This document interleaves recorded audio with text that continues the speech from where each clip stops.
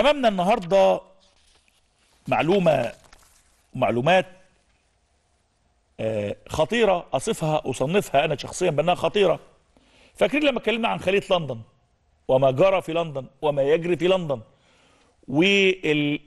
والخليه اللي كانت آه، ممثلة معظمها إعلاميين. أنا اليوم أمام خلية أخرى لكن معظمها من الباحثين وأساتذة الجامعات اللي فين؟ اللي في الولايات المتحدة الأمريكية.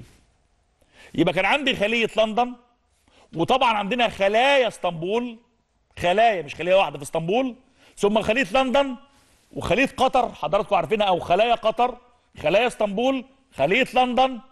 والنهاردة بتكلم على خلية ال 14 خلية ال 14 لازم ننتبه لما يجري وما يقوم به هؤلاء. ال 14 أهم. دي خلية جديدة. فين؟ في الولايات المتحدة الأمريكية.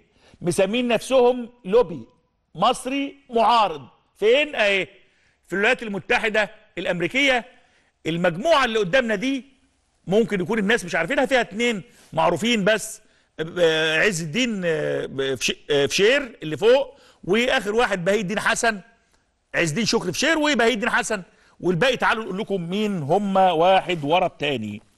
زينب أبو المجد خليل العناني نجوان الأشول عبد الرحمن عياش سحر عزيز عز الدين شكري فشير شادي حامد مايكل حنا بهي الدين حسن حفصة حلاوة ودول عشرة مصريين وثلاثة أجانب ميشيل دان إيمي هاوثورن ويليام آه، كواندت دول آه، دي ال- ال- ال- المعلومات عن كل واحد فيهم.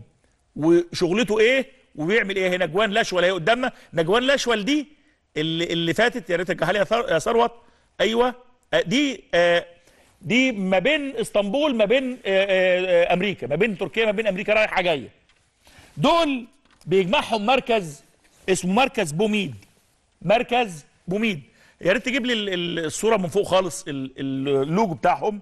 مركز بوميد ده مركز بيطلع تقرير سنوي عن مصر. أهو مركز إيه؟ بوميد بوميد أهو ده المركز اللي دول بي بيجمع هذه الخلية بين جنباته خلية ال 14 عميل ال 14 خاين ال 14 واحد بيزعموا انهم بيكونوا ما يسمى بلوبي معارض ضد الدولة المصرية. دول بيعملوا إيه؟ دول بيكتبوا تقارير وهذه التقارير بتخرج من بومد ال- ال- ال- المركز الوهمي اللي بيصرف عليه ومؤسسه قطريين. قطريين عاملين مركز ال 14 دول شغالين جوه المركز بينتجوا تقارير للهجوم على الدولة المصرية. بيقولوا إيه بقى؟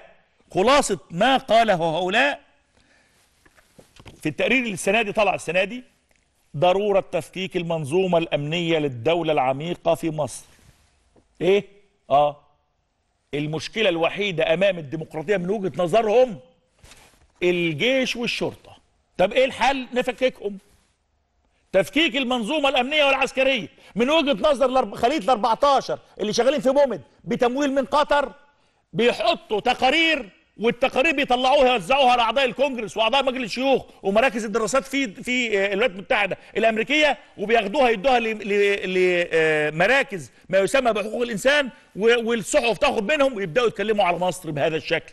خلية من 14 واحد منهم آه، منهم آه، عشرة مصريين وثلاثة مش مصريين. طبعا أنشط واحدة فيهم ميشيل دان آه، ال- اللي هي اللي قدامنا آه، اهي ال- عموما عموما هي دي ميشيل دان؟ دي بتكره مصر كراهية غير طبيعية. كانت شغالة في مصر موجودة في فترة أنا بقول للناس أدي الأسماء وادي الصور ابحثوا أنتوا عنهم. خشوا دوروا بالأسماء دي. راجعوا الحلقة شوفوا الأسماء دي بتعمل إيه؟ بيتكلموا على الجيش المصري أسوأ ما يمكن إن في حد يتكلم على جيش بلده هم دول بيتكلموا.